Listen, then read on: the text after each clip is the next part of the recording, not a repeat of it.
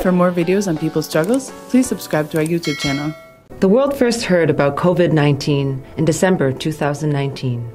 Since then, nearly every corner of the planet has been affected by this pandemic. Based on what media around the world is saying, it's hard to know what's true and what's not. Here are five key questions about China and COVID 19.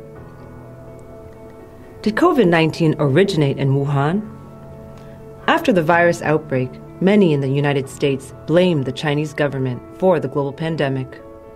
President Donald Trump called it the Chinese virus. In our war against the Chinese virus, Western media blamed the Chinese people based on unfounded and racist claims. Because they have these markets where they're eating raw bats and snakes. Oh, Jesse. Although the first clusters were linked to seafood market in Wuhan, on March 17th, a U.S. study showed that the new coronavirus strain SARS CoV 2 had a mutation in its genes that was unseen in any coronaviruses found in bats or pangolins.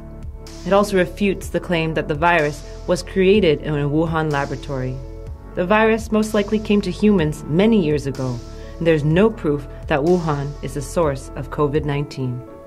This is one of the many studies showing that there is still no scientific consensus about the origins of the coronavirus. Did China suppress whistleblowers of the virus? Western media has blamed China for repressing whistleblowers, but is this the truth? On December 30th, in the early days of the outbreak, two Wuhan doctors had suspicions about a patient report. They shared these suspicions with their colleagues via social media. Because they didn't follow medical protocol, they were reprimanded.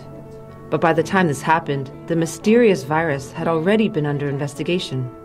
Days before the incident, Dr. Zhang Jixian, another Wuhan doctor, had already reported these issues. Did you ever get any pressure? 因为这是我做医临床医生是应该做的事情，按正常的程序在走，同样都没有什么阻力，该干嘛干嘛。A national team of experts had already visited Wuhan. China's National Center for Disease and Control and the WHO had already been informed. China didn't want the world to forget Dr. Li Wenliang, as the US politicians have tried to claim. In fact, the government since then has honored Dr. Li as a martyr, along with 13 other frontline workers. Did China fail to warn the world about COVID 19 until it was too late? Since the first cases of COVID 19 were reported in China, there are now over 6 million confirmed cases and 370,000 deaths globally. Did the Chinese government inform the world too late? On December 29th, the Hubei provincial authorities found out about the new coronavirus. This is a month after the mysterious symptoms were first reported. On December 30th, Hubei authorities informed China's Center for Disease and Control, or the CDC. The next day, the World Health Organization was informed. From February 16th to 24th, the WHO sent a team to China.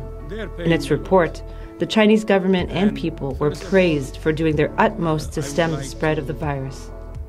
Meanwhile, the United States had long been informed about the severity of the problem. As early as January 3rd, the Chinese CDC officials called Dr. Robert Redfield, the head of the U.S. Center for Disease Control and Prevention. But China's warning was not taken seriously. The CDC only informed the White House three weeks later, on January 25th. President Trump would only declare a national emergency on March 13th.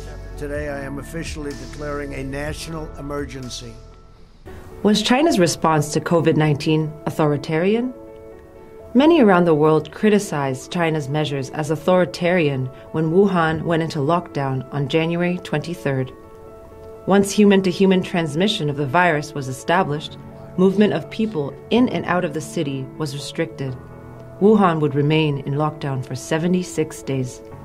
An investigation found that if China had not taken these measures, there would have been 744,000 additional confirmed cases outside of Wuhan by day 50 of the epidemic. After visiting China in February, the WHO commended the Chinese response. Since then, country after country has gone into various forms and lengths of lockdown with a global spread of the virus. Did China's medical warning system fail to respond to COVID 19? Some say that China's medical system didn't respond in time to COVID 19. Learning from the SARS outbreak of 2002 in Guangdong province, China set up a direct reporting system to catch any health emergencies before they spiral out of control. The system has a rigorous reporting procedure. Medical personnel report to their hospital administration, which then reports to the various levels of the Center for Disease and Control and the health commissions. This is exactly what Dr. Zhang Jixian did on December 26th when she reported a mysterious virus in Wuhan. There is also no evidence that the Chinese direct reporting system was faulty. Instead, there is only evidence that the system, like any system, cannot easily adjust to unknown or unclassified outbreaks.